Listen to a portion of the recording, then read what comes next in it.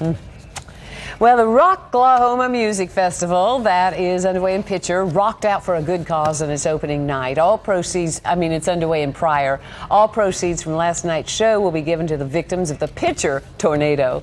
That twister killed six people, you recall, destroyed more than 100 homes back in May. After it happened, festival organizers decided to add an extra day to the music festival in Pryor to help out. Each general admission ticket for Wednesday was $25. Organizers say it will be later in the week before they have a total on just how much money was raised. Covering storms with the power of live Doppler 8000.